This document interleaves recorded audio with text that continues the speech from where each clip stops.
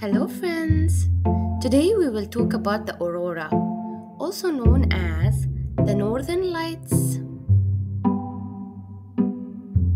Oh, wow! Look at this beauty! First, let's start with the polar nights. In the northernmost and the southernmost regions of the earth, nights can last for more than 24 hours. During the polar night, the sun doesn't rise at all, which brings a perfect opportunity to view the aurora borealis or the northern lights.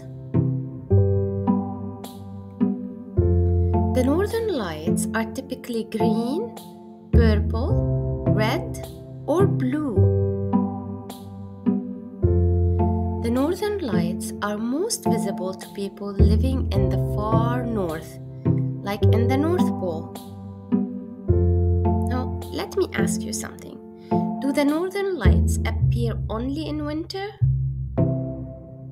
The answer is no. The northern lights can appear anytime, but you're most likely to see them during the chilly month in the far north.